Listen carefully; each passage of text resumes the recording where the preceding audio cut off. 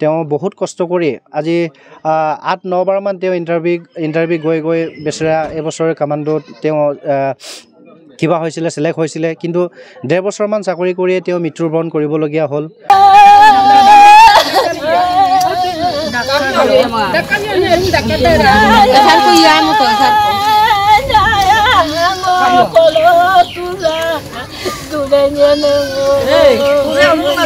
Orang itu ya, orang itu ya, orang Madura itu radu ya, kabio. kau ini lama, pasti buka toko kau kenaya. Kabio. Rumah mau baru tabung bunda kau mga. Bukan bunda, bukan bunda kau mau bika. Bunda kau kami nang lupa ya. Ambunda kau mau main bunda, kau mau main juga kita ya. kau tupai naya. যোৱাকালি নিকা প্ৰায় দহটা ত্ৰিছমান বজাত আমাৰ তেওঁলোকৰ আইলাকান্দিৰ যি আহ, ষ্টাফিঙতৰ পৰা বুলি ফোন বুলি আহিছিলে যে তোমালোকৰ এইটো অমৰজ্যোতি তাইতৰ ঘৰ হয়নে বোলো? তেতিয়া মই হয় হয় ছাৰ। তাৰপাছত ক'লে যে অমৰজ্যোতি তাইত অলপ ইঞ্জুৰিয়াছ হৈছে বোলে। অঁ কি হৈছে ছাৰ? কি হ'ল বুলি কওঁতে নাই আমি বোলে তেওঁক মেডিকেলত লৈ গৈ আছোঁ। বোলে তেওঁৰ কাৰেণ্টত শ্বৰ্ট হৈছে। তেতিয়া মই সুধিলোঁ ছাৰ কেনেকৈ কাৰেণ্টত শ্বৰ্ট হ'ব পাৰে? কেনেকুৱা ধৰণে ক'ত কাৰেণ্টটো শ্বৰ্ট হৈছে?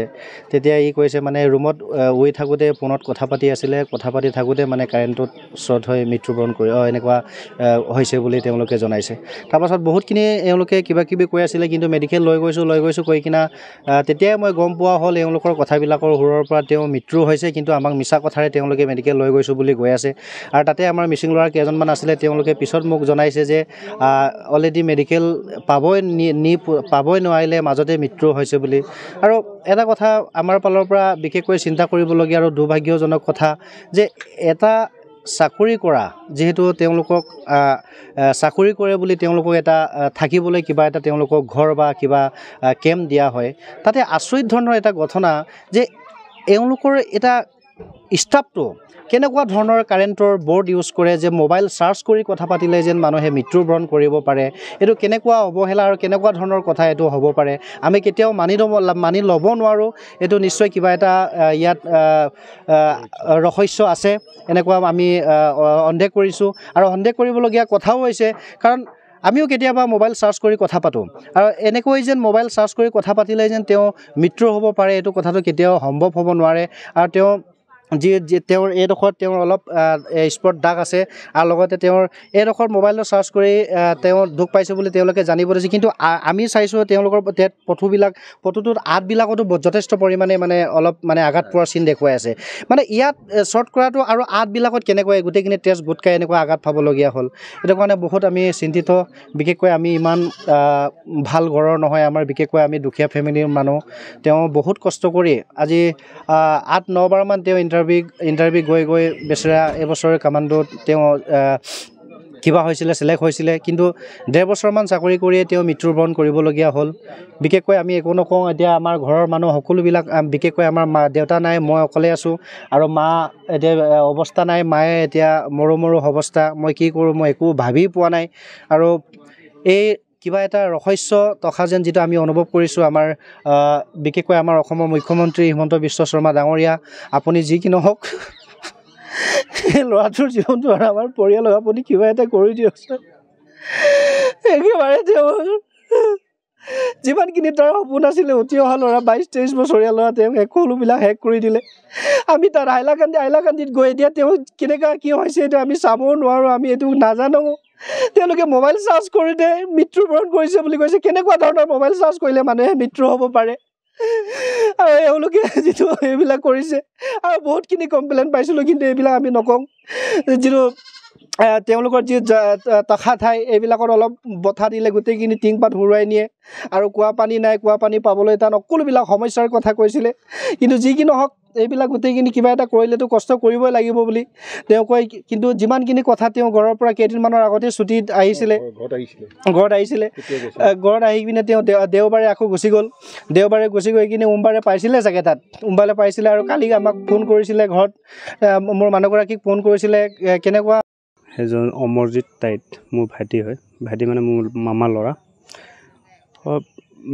কিছুমানে কৈছে বিস্ফোৰণ হ'ল মোবাইল বিস্ফোৰণ হৈছে বুলি কোৱা শুনিছোঁ। কিন্তু অলৰেডি মোবাইল বিস্ফোৰণ হ'লে মানুহজন মতে কি আপোনাৰ তাৰ বুকুত পাইছোঁ দাগ আৰু হাতত পাইছোঁ অলৰেডি তাৰপিছতে আঙুলি এটা ফাটি আছে।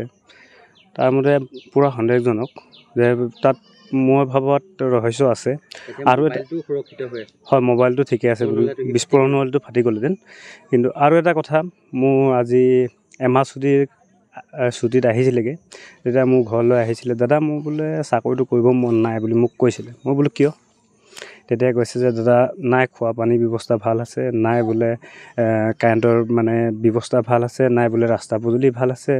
দাদা মই বোলে এবাৰ যদি যাওঁ ছাৰহঁতক কৈ তেজপাত এটা বিচাৰি চাওঁ। যদি তেজপাত নিদিয়ে তেতিয়াহ'লে তাতে কৰিব লাগিব উপায় নাই। এতিয়াতো কিন্তু যদি ইমানটো কিবা নহয় তেনেহ'লে মই চাকৰিটোকে এৰি দিওঁ নেকি বুলি সেইটো কৈছিলে মোক। মই বোলো সেইটো নকৰিবা।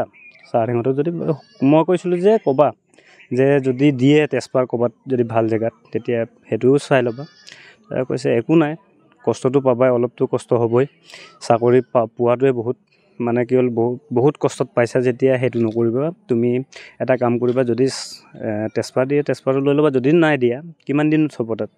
তাৰপৰাতো আকৌ পাছত তোমাক বেলেগত জেগাত ঘটনাটো মানে আপোনালোকে ৰহস্যজনক হয় ৰহস্যজনক পূৰা ৰহস্যজনক বুলি ভাবিছোঁ। বা তেখেতলোকৰ পৰা ফোন আহিছে যে বিস্ফ মানে কিয় মোবাইল শ্বৰ্ট হয় বা বিস্ফোৰণ হয় মৰিলে বুলি। তেখেত ঢুকালে বুলি কৈছে। কিন্তু যিটো ফটেজ দিছে সেই ফটেজৰ মতে আমি পূৰা ৰহস্যজনক। বুলি ভাবিছোঁ। কাৰণ মোবাইলটো একো হোৱা নাই আৰু প্লাছ মানে কি হ'ল হাতত দুখ পাইছে বিভিন্ন জেগাত দাগ পাইছে। হয় দাগ বহুত দাগ পাইছোঁ মানে। মোবাইলটো মোবাইলটো অলৰেডি আইফোন আছিলে। আইফোনটো আইফোন কোম্পানীটো ইমান বেয়া নহয়। আৰু ইমান জল্দি মানে কি হ'ল ব্ৰাছ হ'বলগীয়া মোবাইলো নহয় এইটো? কিন্তু কেনেকৈ হ'ল আমি ক'ব নোৱাৰোঁ কিন্তু তেখেতলোকে কৈছে যে সেনেকুৱা বিস্ফোৰণ হৈছে। আইফোনটোতো কেতিয়া বিস্ফোৰণ হ'ব নোৱাৰে বুলি মই ভাবোঁ। কিন্তু তাততো পূৰা ৰহস্যজনক আছে। মোৰ মতে পূৰা সন্দেহ মানে কৰিছোঁ কি যিবিলাক তেখেতলোকে যিটো কথা কৈছিলে সেইটো মতে হ'ব পাৰে বুলি ভাবিছিলোঁ। কিন্তু যিটো আমাক ফটেজ পঠিয়াইছে সেইটো মতে ভাবিছোঁ যে তেখেতলোকৰ মানে কি বহুত আঘাত পাৰ মানে বহুত জেগাত মানে আমি দাগ দেখিছোঁ। সেইটোৱে। চাৰে দহটামান বজাত ফোন কৰিছে। আপুনি শেষবাৰ তাৰ লগত কেতিয়া কথা পাতিছে কালি পাতিছিলে নেকি? এইটো কালি পতা নাই এ, পৰহিৰ দিনা এদিনাখন ফোন কৰিছিলে তেওঁৰ বৌয়েকক ফোন কৰিছিলে মোক ফোন কৰা নাই। তেতিয়া মা কেনেকুৱা ভালনে বা বৌ কেনেকুৱা আপোনাৰ ভালনে? এইটোৱে সুধিছিলোঁ আৰু এইটোৱে লাষ্ট আৰু।